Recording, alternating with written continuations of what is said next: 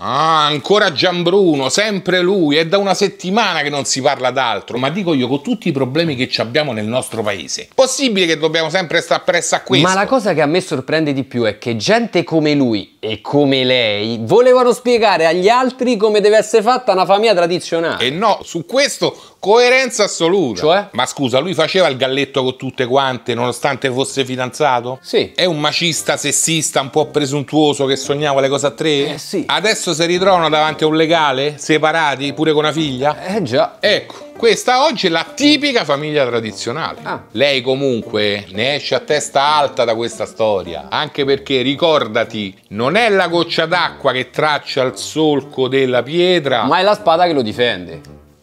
Eh sì, esatto. Piuttosto la domanda che nessuno si è ancora fatto è un'altra. Ossia? Ma se tu non sai riconoscere e capire come è fatta la persona che c'hai vicino da dieci anni, se tu non riesci a gestirla, a capirla fino in fondo, a sapere la sua vera natura, quali sono i suoi reali bisogni, nonostante ci dormi pure assieme. Come fai a capire e a gestire i bisogni di altri 60 milioni di italiani che neppure hai visto mai? Ecco, hai capito?